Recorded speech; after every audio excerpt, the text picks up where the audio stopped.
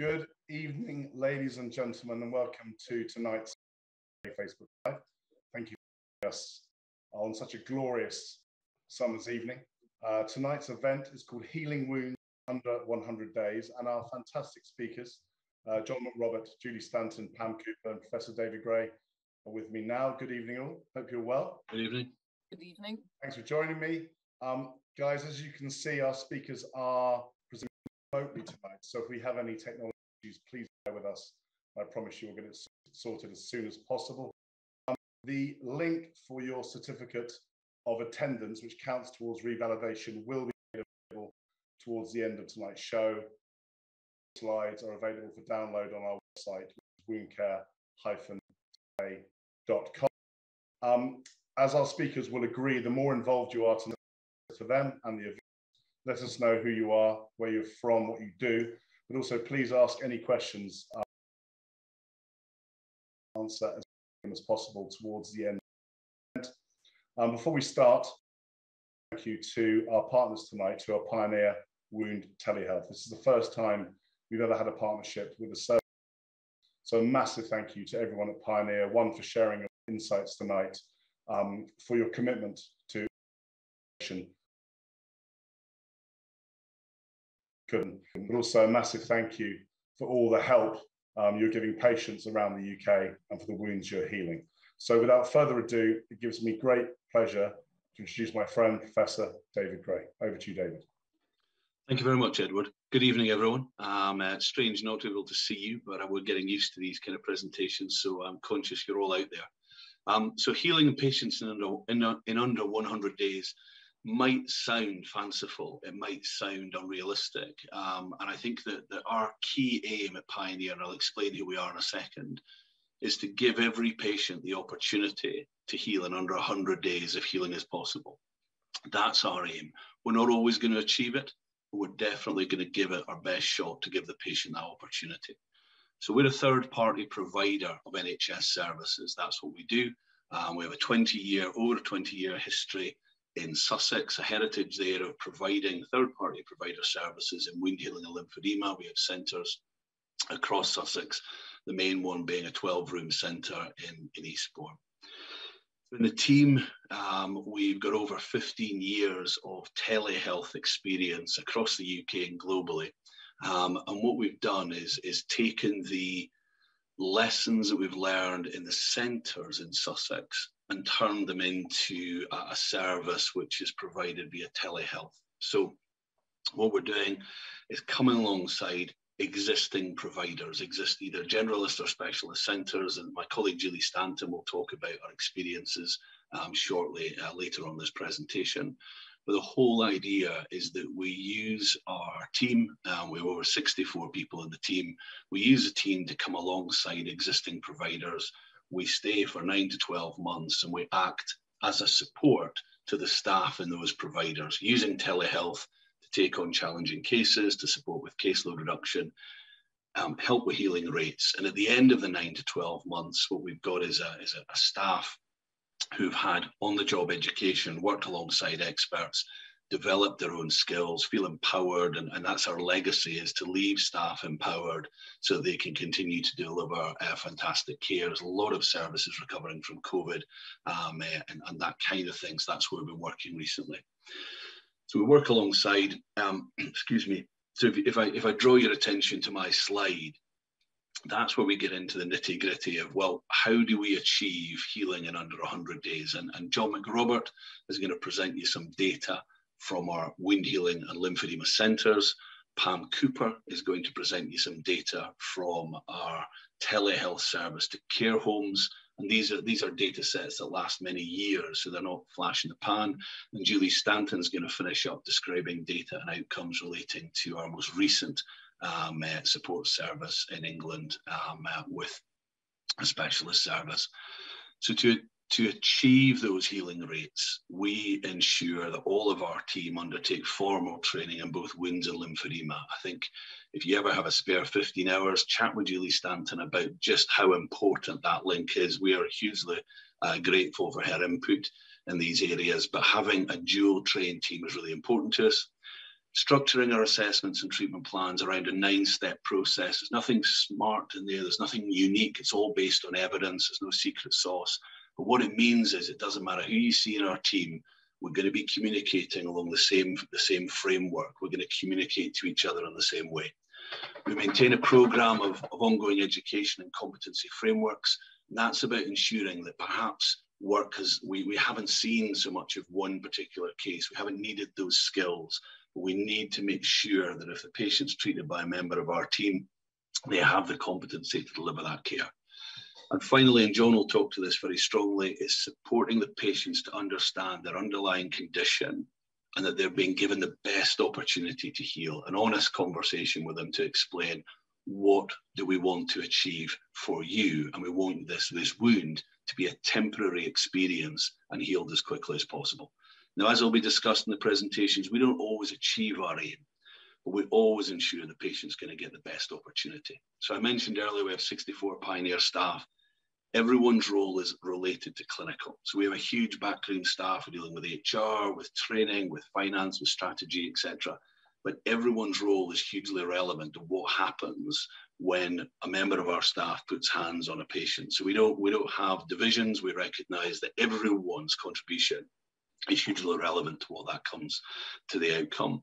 And what I'd like to do is to acknowledge our colleagues in Sussex who, who stayed open through COVID. They were fortunate enough to be able to stay open, but they had enormous risk to themselves. We're very grateful for everything they did during that time. It was incredible.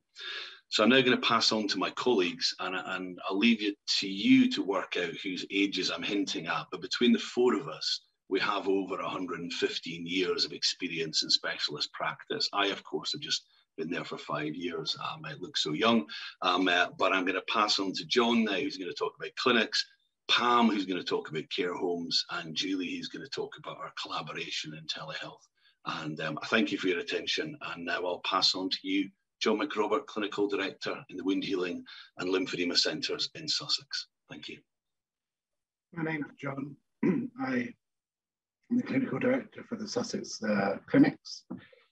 Over the next 10 minutes, eight minutes, I'm going to talk to you about the results that we achieve and how we achieve them. So we are a nurse-led team that's based in Sussex, and we have a genuine interest bordering on uh, unhealthy obsession with wound healing uh, and the outcomes of that real interest.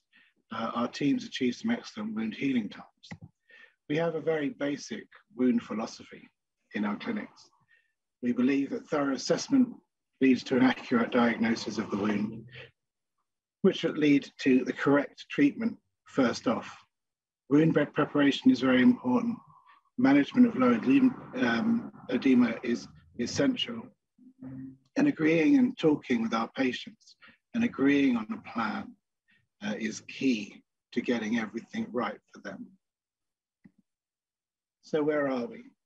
We are peppered through mid Sussex we're in Crawley, Horsham, East Grinstead, Burgess Hill, and we have a, a large standalone clinic in Eastbourne. All our patients come from direct referral of GPs or into community from the community services. Depending on what clinic um, our staff are working from, they're either clinic-based, community-based, or both.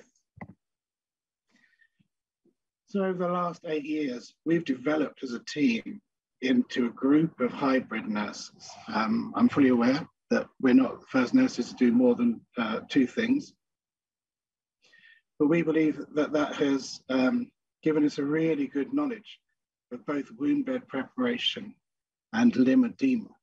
And putting them both together uh, allows us to achieve some really good results.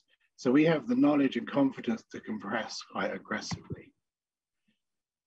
So why do we use a wound lymph approach? We know that a large number of community patients um, have chronic edema. Um, and we know that a significant amount of these um, have uh, a significant amount of these have leg ulcers. So we use effective compression to try to manage the edema and try to reduce the fibrotic tissue and manage the fibrosis that covers not only the wound bed, but surrounding the wound bed to try and heal up the patient's wounds quicker. Our strategy comes in two parts. The lymph part, which involves aggressive, compression, bandaging, using foam and strapping to increase the effectiveness of the, the compression, and not being too scared to go thigh length with application of bandaging to effectively manage the edema of the knee and above and avoiding the muffin top knee.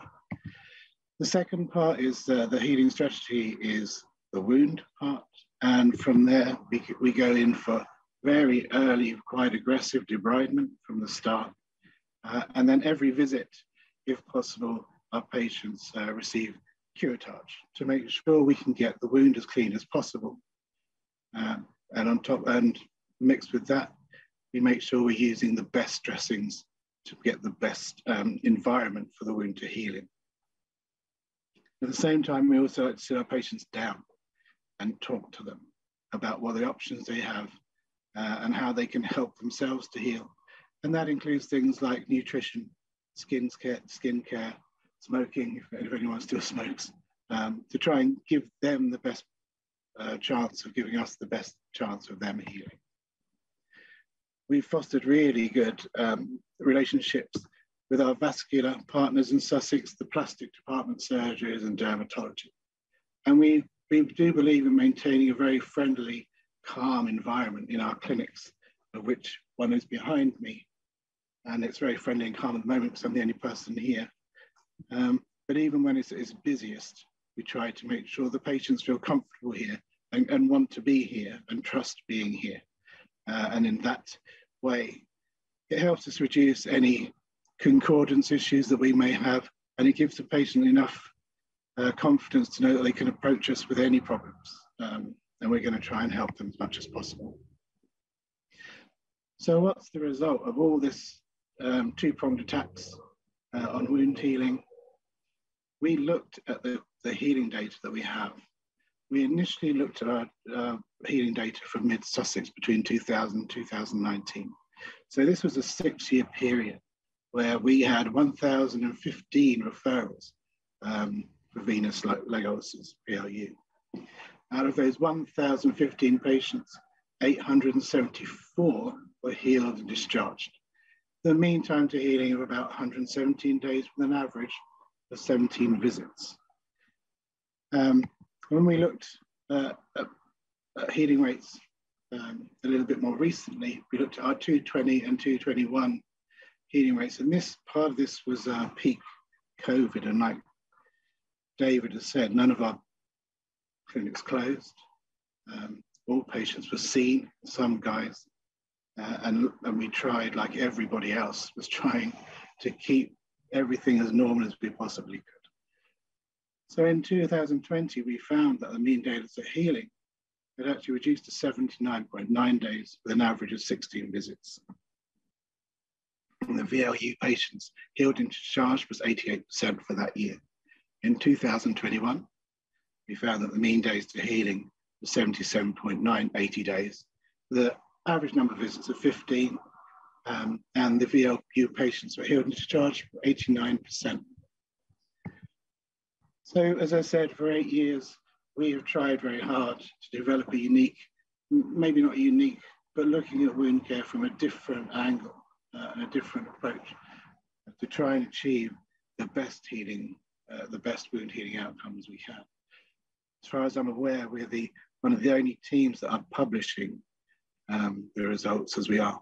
And I do look forward to a time when all the other teams around the UK start publishing data so we can see what's going on and what we're doing so well.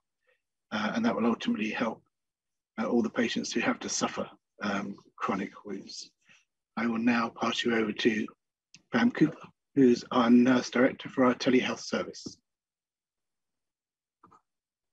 Many thanks, John. Thank you very much, ladies and gentlemen, for your time this evening.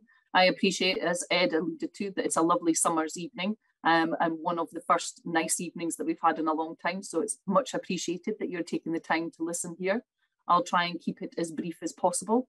Um, what I would like to share with you is some of our outcomes from our telehealth service that we provide to the nursing homes within the Eastbourne area. So we provide telehealth utilising um, clinical nurse specialists that support the nursing homes in managing the patients that are referred to us from Eastbourne, Hailsham and Seaford.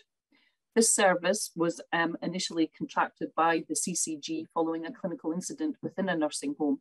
And what happened was is that they recognised that there wasn't an equitable service between patients that were ambulatory that could um, access the clinics as opposed to those that are cared for in nursing homes that didn't have access to the services.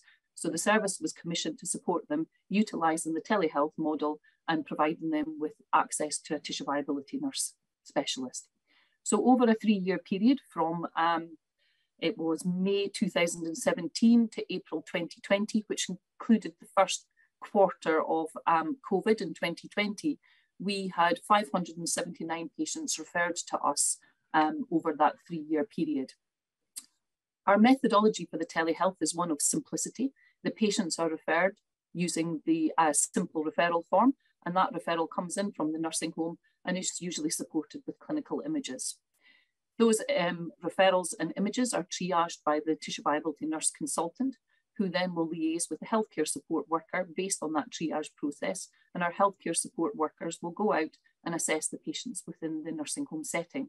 So they provide us with a bit more of a holistic um, assessment of the patient. So they're seeing the patient within the environment and they're able to carry out a, a more comprehensive assessment and take some more clinical images.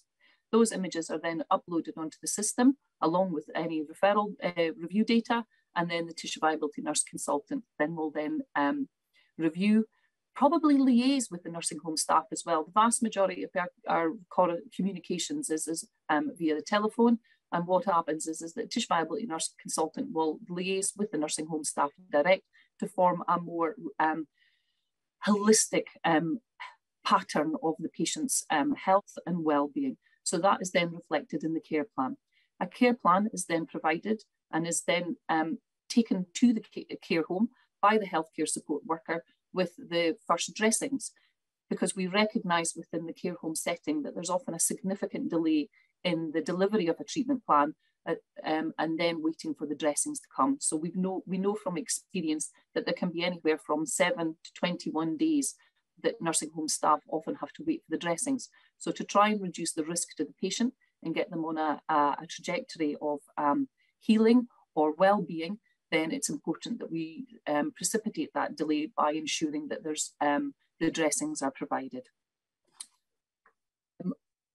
To um, share with you some of the data that we've got, um, we have 579 patients, as I alluded to before, and they're broken down into three cohorts there is um, 92 patients that present that were lost to follow up. And the vast majority of those patients were actually uh, discharged home. So they obviously were probably in for respite care. The, the second largest group of patients were those that were referred on to specialist services. So those patients that required dermatology, vascular, um, plastics, or um, diabetic foot services. And then the two large cohorts of patients is, is that we've got 253 patients that um, unfortunately passed away, and we've got 234 patients that healed. So if you look at that um, cohort of patients, um, minus the 92 that um, were lost to discharge, you've got a, a, fairly even split of patients that in that high risk um, patient cohort that either healed or passed away. And that needs to be reflected in how we approach them in regard to the referral process and in regard to our care plans.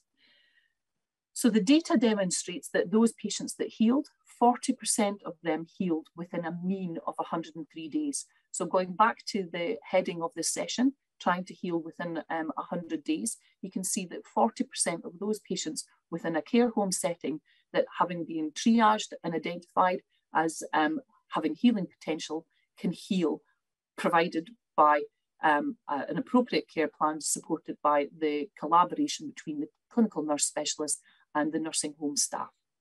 What we also need to recognise is that 44% of patients passed away, and of that 44%, uh, um, uh, 75% of them died within 100 days, which leads point, which is, is that the vast majority of patients will either fall into the healing category or they will fall into the end of life pathway. And when you look at pathways of care, there's very little that reflects end of life. But what we need to recognise is, is that by supporting the staff within the care home, the tissue viability nurses recognise that some patients that will present that are end of life.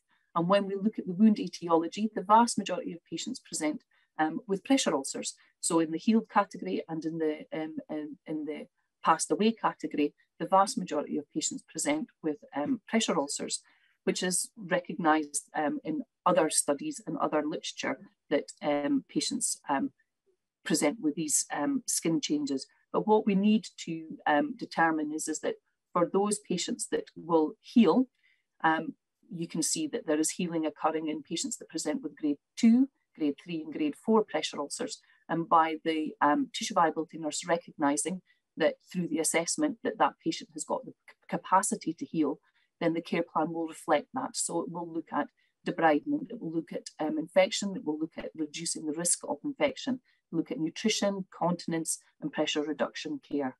In those patients that passed away that present with pressure ulcers, we need to recognise that those pressure ulcers usually occur because of the skin changes that are caused by end of life skin changes. And therefore, you're not going to treat them in the same way. You're not going to treat them with aggressive debridement, but what you're going to do is treat them with um, a plan that reflects that the aim is to provide the patients on that journey with dignity. So you're managing their symptoms, so you're managing the risk of infection, you're managing the exudate, you're managing the, uh, the odour, you're managing their pain levels. So the interventions will be very different from the healing category because you're looking at providing a dignified end to that patient by supporting them with an appropriate care plan. I would just like to share with you one of our successes, and this was an 84 year old lady that was admitted from um, an acute hospital, having been admitted with um, small bowel obstruction and she presented with initially an unstageable pressure ulcer, and after a two week period, um, this was debrided. And you can see that we've now got some slough present. There's a small bony prominence at the top of the wound. And over 140 days, with the tissue viability nurse supporting the nursing home um, staff and collaborating with them to ensure that the care plan reflects the care needs of that patient, that you can see that that wound um, successfully healed. And what I would just like to conclude with is, is that telehealth has enabled specialists to provide an equitable service. And I think it's key that we emphasise that it's about equitability, that patients, uh, it doesn't matter which care setting that they're in, that they are entitled to an equitable service. And by ensuring that the nursing home staff have got access to tissue viability nurses that they can call upon, then the patients, be they in the healing category or the end of life category, are treated with the utmost respect and are supported on the appropriate um, care pathway. I would just now like to hand over to our um, Director of Nursing, Julie Stanton. Hello. Um, my session is really looking at uh, partnership working. Um, and this is actually looking at the service that we replicated with an NHS Partnership Trust. So in late 2021, we entered a contractual partnership with an NHS Trust to support their existing tissue viability services in wound care across the city.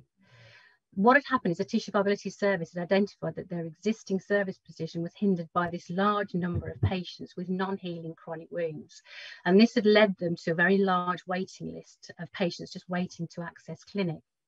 So what we did, we actually worked with them to actually look at the type of service that they actually needed. And we tend to look at um, the patients that, that were on that chronic caseload. So we had 128 patients were identified and referred to Pioneer and we triaged them into the following three categories, which I'll talk through. But if you just look at the pie chart on the on the right hand side, what we're actually looking at is the breakdown of the numbers of, of, types of wounds that we actually had. And one of the interesting things, and one of the things that you'll see threaded through all the presentations that we have, is that we see an awful lot of patients with lymphovenous disease. And in this particular cohort of the 113 patients with leg ulcers, we had 96 patients with lymphovenous disease and only 13 patients with a straightforward VLU. And the way that we work with this hybrid with method actually um, ends up with patients healing a lot quicker um, because they're putting them onto the right treatment pathways. So if we look at just our category one, these are maintenance pathways, and I'll, I'll go through each of, of, the numbers that we had in each of these categories a little bit later. But these patients are ones that present with barriers to conventional healing. So what we do with these patients is it's a multidisciplinary report with a maintenance plan which is provided to the referrer with guidance to the GP as to the suggested sort of types of treatment and management. So we do a full assessment and then we do it up to about nine um, follow-ups. And what we try to do with these patients is aim to manage their sort of complications and symptoms where possible and try, if possible, to try and get them into uh, a healing trajectory of sorts.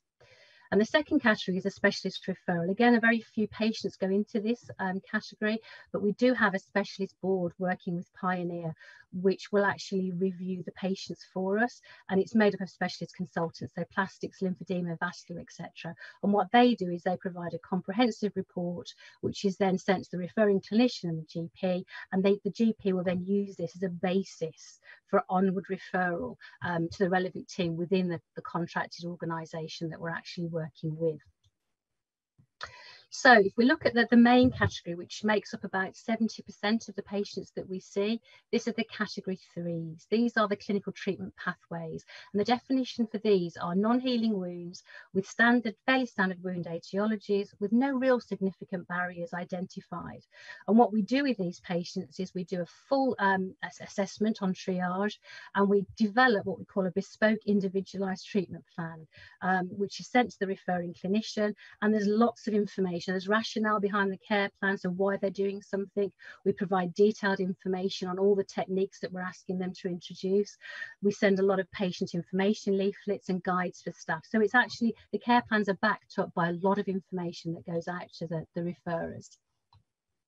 Um, and what I'd like to sort of discuss now really is, is the, the, the, treatment plans. What these treatment plans are is we put them in for about four weeks, dependent on triaging.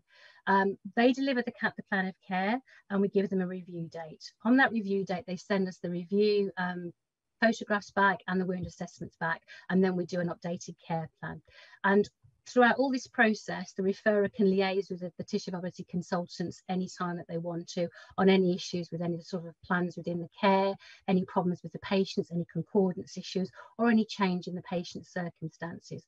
We also offer training on all the advocated techniques that we're, we're putting into our care plans, as long as we've got permission from um, the organisation to go into those clinics. So let's go straight on to the actual outcomes. What have we actually achieved? So with, with 128 active patients that we had, we actually had 20 that were discharged unhealed, and I'll go through those in the next slide. We had 20 uh, maintenance patients, four patients that were static and we couldn't actually move them into a healing trajectory. However, we healed 58 patients.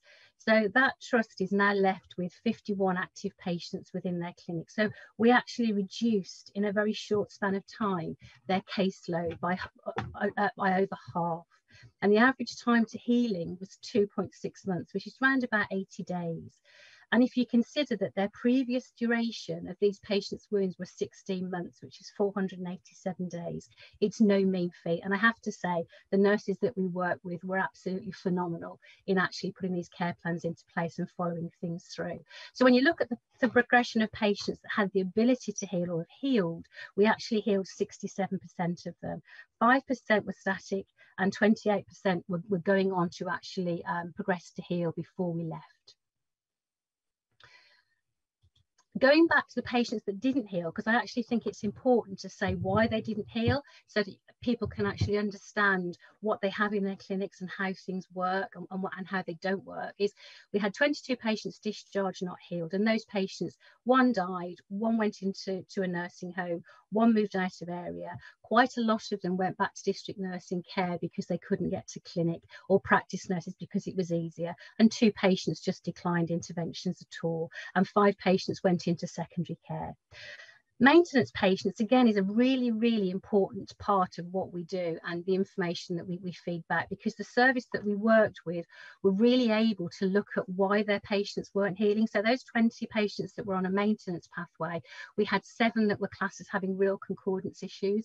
A lot of those patients had dependency issues. So again, it was about how they liaise with social care, how they liaise with the mental health team, etc. So they were looking at ways to improve concordance with their patients. One one had arterial insufficiency, which we couldn't refer on. Two had complex lymphedema. And one of the things that really um, was highlighted with this service was that the majority of patients with chronic wounds actually had stage 2B lymphedema. Some of them had stage 3. And that's why we needed to look at with this service how they develop that, that side of their service. We had two patients with mental health issues. One was self-harming. So again, it was about how we liaise with the mental health team, what services were available for that trust. And seven patients had complex health issues, which they were being referred to either dermatology for biopsy, vascular surgeons, or other secondary care providers. So that breaks up the ones that didn't actually heal. Now, one of the things that you will all sort of say is, well, I bet they were all really easy to heal if they, they healed 58 of them. Well, one of the things that we do with the care plans as well as the patients is we put them into complexity. So we say they're either simple, moderate or complex.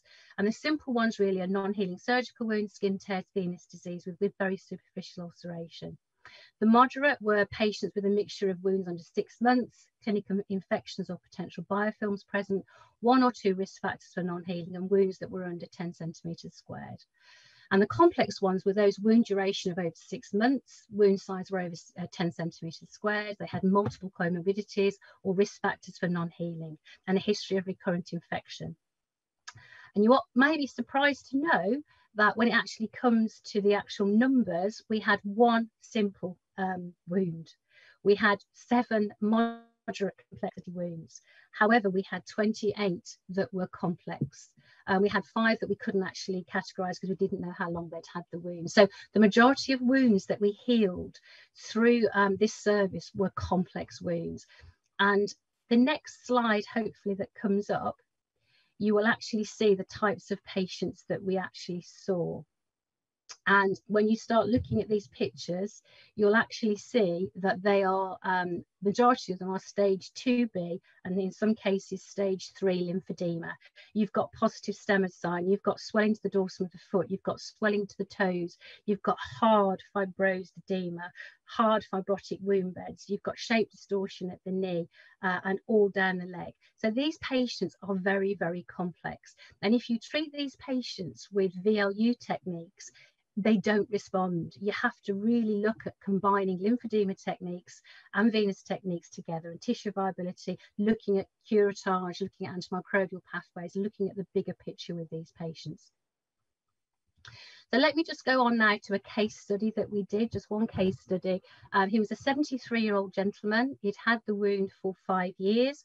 He developed a stage three lymphedema with extensive fibrosis and what we call papillomatosis, which is that orange peel skin around his peri-wound area. He suffered with uh, recurrent episodes of infection, which was made worse by the two years of sort of COVID. Wounds are present on the both medial and lateral malleoli. We commenced um, treatment in November uh, 2021 with quite an aggressive antimicrobial pathway, aggressive curettage, and we started him on multi-layer lymphedema short stretch bandaging in a figure of eight. We strapped him and we provided localized compression to break down the fibrosis. We put kinesio tape on to improve his lymphatic flow and we used mobilizing foam pads to break down the fibrosis. And this is, is sort of all these are lymphedema techniques that we've incorporated into um, the realms of tissue viability. And if you can see the pictures of this gentleman, um, the cost of care for this, this gentleman was over the five year period was 46,000 pounds, 46, 800, £46,836. The cost to healing um, with the service was 2,654 and we healed this gentleman in 133 days. Now I have to say a lot of the work actually in, with this gentleman goes to the, the, the, team at the Partnership Trust. They were fantastic with um, this gentleman and they put again everything we asked them into place. Um, and again, both the patient and the nurses couldn't believe how quickly this very, very complex wound that had been there for five years healed up with just changing the techniques that we used. So the next slide really looks at a couple of the patients that actually healed and looks at the costings um, sort of surrounding those. So we're looking at wound duration, cost and time to healing. Um, and the average cost to healing with these patients was 2,508. And this is including sort of the, the pioneer fee per patient. Um, the average cost pre-pioneer was 5,821. So that means the total cost for the patients um, pre-pioneer was 197,924. Following the interventions, it was 85,281,000. So a saving potentially of 112, 643,000 pounds for the 41 patients. Um, and these costs don't actually include things like antibiotics prescribing, hospital admissions, or the cost of swabs or GP appointments. This is purely just your time, nursing time, and the cost of the dressings. So you can see by just changing some of your techniques how quickly um, you can actually look at cost savings and how that can be worked back into your service.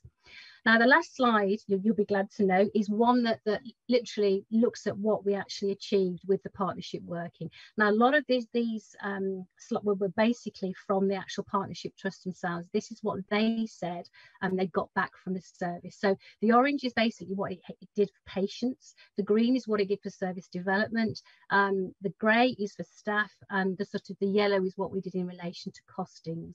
So if you actually look at um, the patients, we have improved outcomes and quality of life for the patients, a reduction in recurrence rates, because one of the things that this allowed the service to do was they opened up on a Wednesday a well a, a well ulcer clinic, so they could bring the patients back that had healed, and they opened up their waiting list for clinic. One of the big things it did for service development is it gave the tissue viability nurses time to breathe, time to plan, time to really think about their services, which is what everybody needs and it, they were they helped uh, we helped them to develop a business plan for lymphedema because we actually gave them the data that showed um, how many patients with lymphedema were coming to clinic um, they also set up a complex community clinic, a wound service. So basically, with the techniques and knowledge that they'd learned, they went out into the community to help the district nurses to actually develop um, a complex wound service. Uh, so three of the nurses basically were released from the clinic to go out and work with district nurses. And one of the big things they said, it was a progression from a wound dressings clinic to a, an actual wound healing clinic, which is really important. And that leads on to the staffing issue. It improved motivation for staff as they were healing patients. It improved their, their knowledge, their skills and their education. They developed an outcomes database, which made um, aware of what they were looking at, which patients were progressing, which ones were static, how they referred them. And it actually led to a reduction in staff sickness levels. Um, and finally, sort of costings wise, there was a massive reduction in swabs, infections, and hospital admissions. And the big thing for me, being an ex district nurse, was there, there was a reduction in the need to actually engage out of hours and bank holiday community nursing services. And that was a really important one for both the trust and myself and a reduction in prescribing costs. So you can see from the work that we've done, we've, we've just basically taken what we've learned over the eight years in clinic, looking at our pathways, which are tried and tested, that you can actually achieve the healing under 100 days, with the majority of patients within this um, service healing within 80 days, just by assessing and then treating them correctly. Thank you. Julie, everyone, thank you so much. Um, if you guys get a chance, please um, check the event out on Facebook because some of the comments, some of the questions that come through have been fantastic. So, ladies and gentlemen, thank you so much for your engagement and for your involvement. There's so many, so many questions have come through. We've got 20 minutes, so I'm gonna try and get through as many of them as possible. So if you guys could take yourselves off mute, I'm going to um, start with question one, which is going to be for John. Um, John, this is going to answer quite a few questions that come through around concordance, around adherence. So the first question for you is, what are your patient concordance rates like? Um, I don't know off the top of my head. Actually, I would have to. That's something I do. David. Yeah, I'm happy to answer that. Sorry, John, I dumped out on you because I thought I'd be busy sorting questions. Um, uh, basically, we published a paper 2016 which looked at the concordance rates around about 94 to 96 percent, and the most recent audit seemed to indicate that we're still sitting at that level. And I apologise to everyone as I'm answering. I've gone off mute and I have a snoring dog next to me, which is a Labrador. So I apologise if you can pick that up on my microphone. Um, uh, so I think that, that the, the, the initial thoughts, and Julie really led on this back in the day, was around just as John described that that honest conversation with the patient, the support of the, the family, and an explanation that says, if you stick with this program, you're going out here in 100 days with no wound and then they, they build that relationship. And uh, so the concordance rates from that perspective, um, uh, when we've audited them, have been pretty high. Brilliant, thank you. Uh, David, the next one's for you as well. Um, the questions are coming in now, so you have to worry about other questions from now on. Um, this is from Joanne. Thank you, Joanne. Um, so, David, is the telehealth program going to be available for community nurses? This knowledge would be really useful. Okay. Um, can I wrap that up with is about eight or nine questions from across across the country where people have where pe people have been asking um, uh, about do you work in this area, that area, are you going to work out of England, etc. So essentially, this is us launching. Um, uh, we, we've had our first reference site. We've completed that. Julie's presented it, and I think that that where the our service is available will will be based upon where people invite us to get involved in the future. So that's an evolving thing, and everyone who's who's, who's asked that question we know where you are. So we'll, we'll come back to you with an email to actually answer that question and give you more details. But I think in terms of the techniques, the techniques are being used by healthcare support workers, district nurses, specialists. I think if you ever have the good fortune to attend training by, by Julie, Pam and John, then what you realize is that the, the, the, techniques used are broken down into really um, understandable um, uh, mechanisms so that you can replicate them. That's the key thing here is being able to replicate I should have said, and I apologize in my first introduction, there is no secret sauce here. There's no piece of fancy tech. There's no piece of, mm-hmm. of, of um, amazing um, technology or new wound product that's being used here.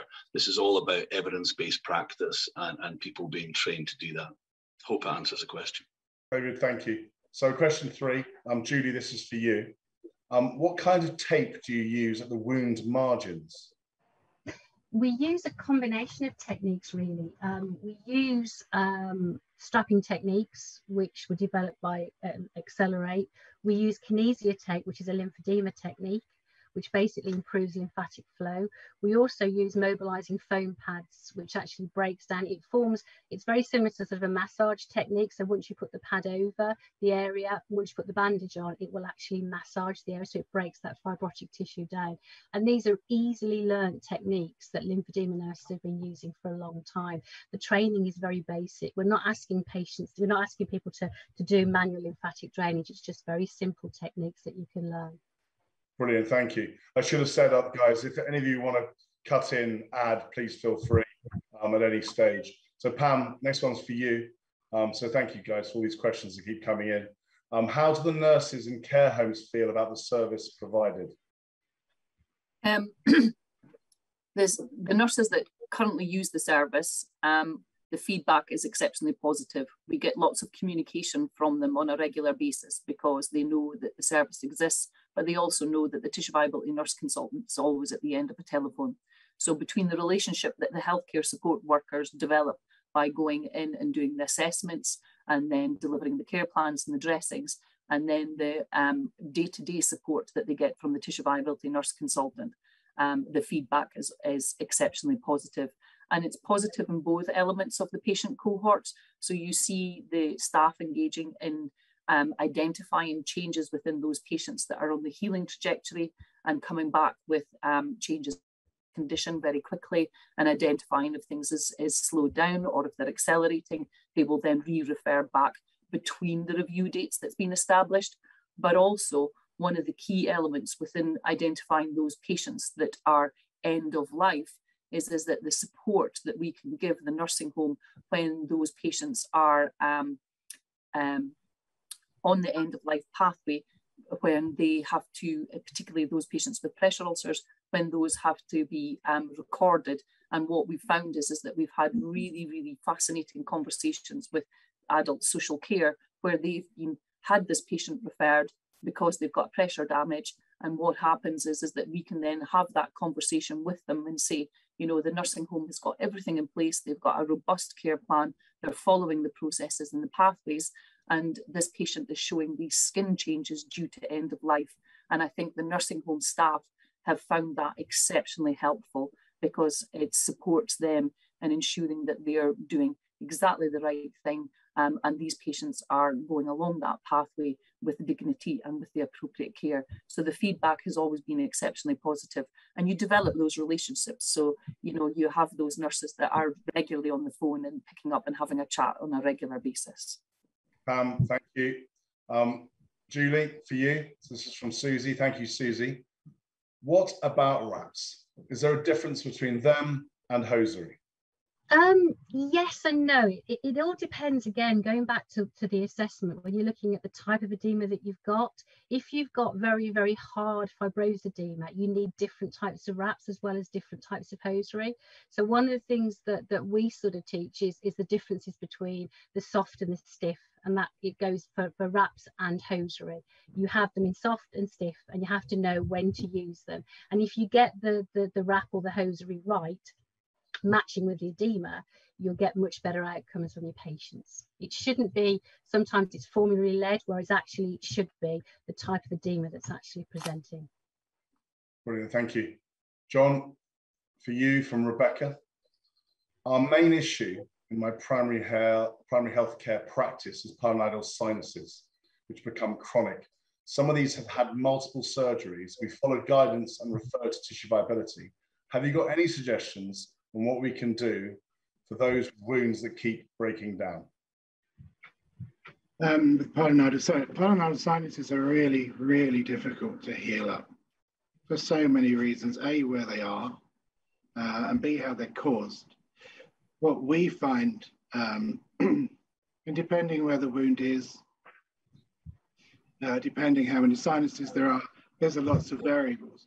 But we've had some really good success um, with topical negative pressure uh, in our clinics. Uh, they're very difficult. It's a very difficult dressing to put on, and it's a very, very difficult dressing to keep on. But if, and it takes about two of you to do it, it's quite time, but that we've had, you know, um, sinus, uh, pilonidal sinus problems that have undergone surgery, but very slow healers. Um, healing up with uh, topical negative pressure, we've had some very good results with that. Um, what we do find one of the biggest challenges, I'm sure Rebecca finds as well, is that when the uh, if the patient's gone for any kind of surgery, uh, they come back and they're still not healing.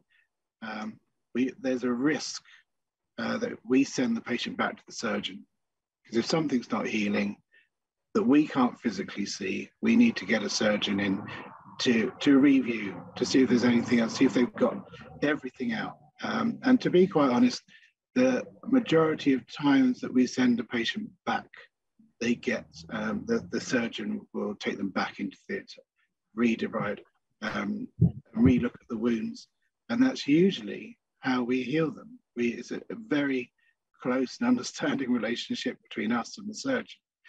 Uh, and if there's nothing the surgeon is able to do at the time, it's a case of packing, um, uh, packing wounds. If they've got any kind of seton stitch or anything like that in, then there's that to manage. Um, but to be quite honest with you, the, the best way we found of dealing with this we can is with topical negative pressure. John, thank you. David, um, question from Alison. Can you please advise TVNs how best to get buy-in from senior management, CCGs, ICS, please? I'm conscious um, that of time, so I'm just going to say one word: data.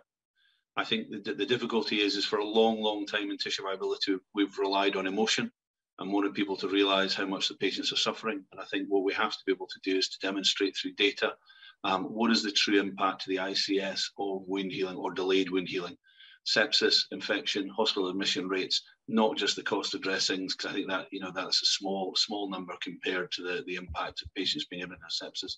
So I think the, the, the reality is if TVNs want to engage in a conversation with CCGs, with ICS, it has to be based around data um, and being able to communicate the true extent of the problem and challenge that, that we face. Brilliant, thank you. Um, Violet, thank you for the next question. Pam, this is for you. Um, could I please ask Pam if her team liaise with podiatry in the management of pressure damage affecting the foot and the ankle?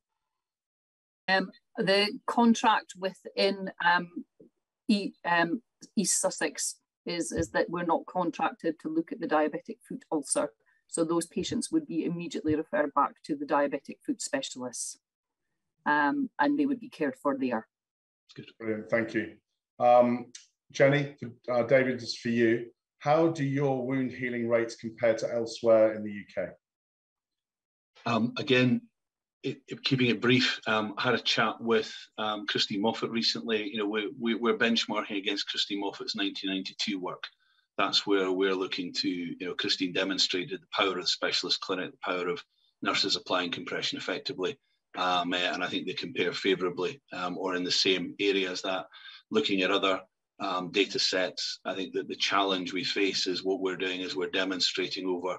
So John's presented data, which essentially runs from 20, I think it's 2015 to um, 2021. So it's this long, long data set. So I think what we would really like to do is to see people producing equal data sets and for us all to be really honest because like if you look at some of our papers around our data sets, what we're doing is we're not hiding patients, and Julie made that point.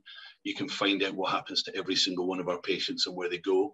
And I would love to see us with more um, regional, local, or even national data sets where we can start to compare and contrast in the way in which, for example, orthopedic vascular surgeons do. And you know, we talk about the diabetic foot. People know what kind of amputations go on. So I think that um, eh, that that's the at the moment, it looks like we're favourable, but we just don't know how much great practice might be out there that's not being shared um, uh, and data being published. Brilliant, thank you. And David, another one, and I, I, know we're repeating ourselves here, but we keep getting similar questions. So is the Pioneer telehealth service available in Northwest area and in Manchester?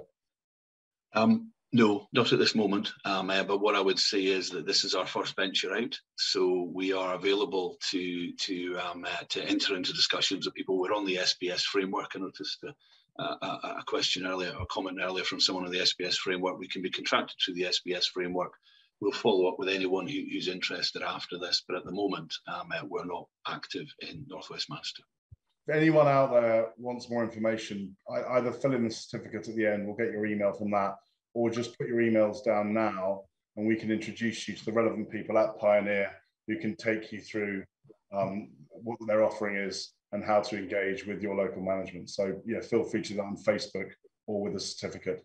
Um, so question 11, uh, Julie, this is for you from Shelley. Thank you, Shelley.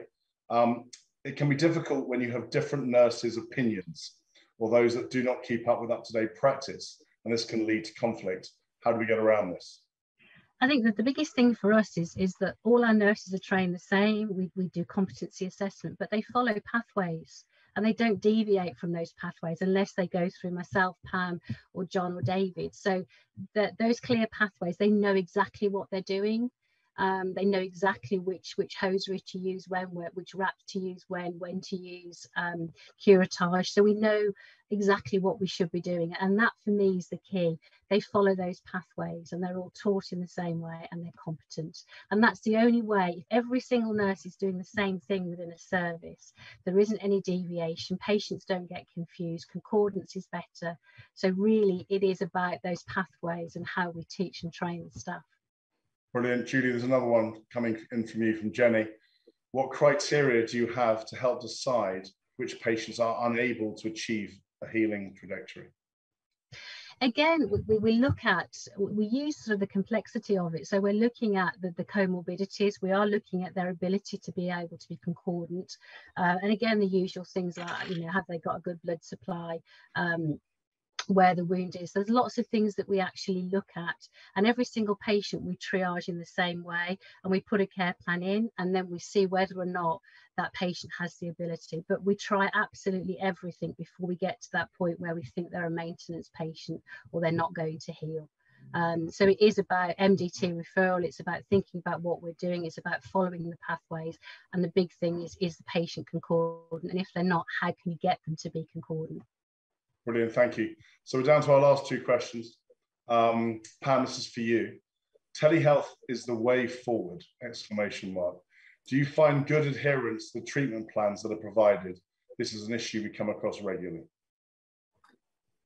Um, yes, I think the care plans are adhered to well bec uh, because we have very strict um, re-review dates. So um, when the patients are, when we implement a care plan, um, we review very frequently to ensure that the care plan is followed.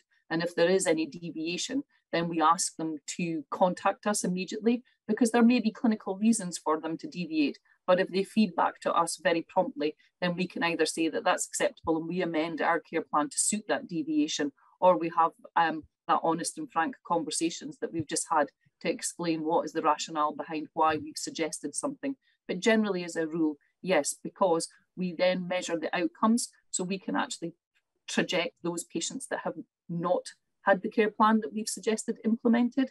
And therefore, then we can then feed back to organisations and say, well, actually, of those, for example, 100 patients, there was four that the care plan was deviated from, that there wasn't a clinical reason for it. And of that four, we can look at the healing outcomes and see, did those patients heal or did they um, not heal in the way that was expected? So there is an audit trail and outcome measure process that we can put in place to make sure that we um, follow those patients that there is deviations from.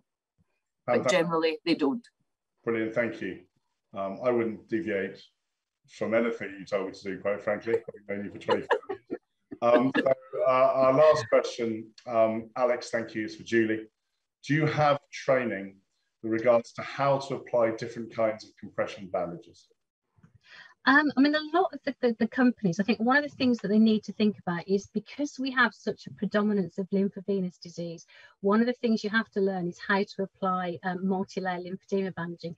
And any of the companies that, that provide that will actually give you training. And if you can apply a figure of eight bandage, you can do it. Um, so literally the, the, the, training is there. We're just very sort of um, tailored into we have to follow the VLU pathway, whereas most of our patients aren't traditional venous patients, they're lymphovenous. So you have to change. And that training is available from um, any of the suppliers that do the short stretch bandaging. Brilliant, thank you. And thank you for all the questions that have come in. And thank you to our speakers for answering them in such an erudite way. So much appreciated. So that concludes tonight's event. Um, the certificate link is available now, so please download that for your revalidation. Just a massive thank you from me and the teams at Wound Care today and Mole. Um, I asked for great engagement and you haven't disappointed. The questions and the comments have been flying through. Um, I'm well aware how much you know, time you've had to give up and whatever how precious that is. So thank you so much. Um, the certificate is available the slides are available for download as around tomorrow or Friday on our website, so please go there. Um, so just some thank yous. Thank you to our speakers, David, Julie, John, and Pam. Massive thank you from me and the team. Uh, to everyone at Pioneer Wound Telehealth, thank you for your support. It means a great deal.